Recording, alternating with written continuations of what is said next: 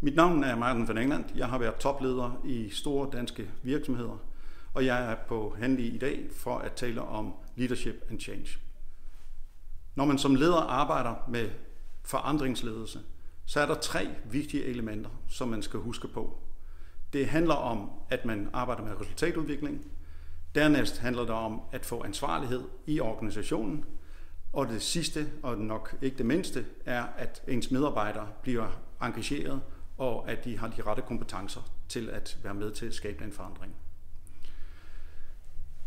Mit bidrag i dag kommer til at handle i øh, stor grad om, hvilke håndtag man som leder, der arbejder med forandring, kan bruge for at kreere den forandring, og også at få den forankret i organisationen.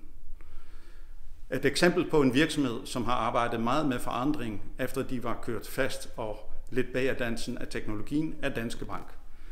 MobilePay er det produkt, som kom ud af det, og det er kun takket være god lederskab og en forandringsorienteret ledelse, at man har fået det produkt.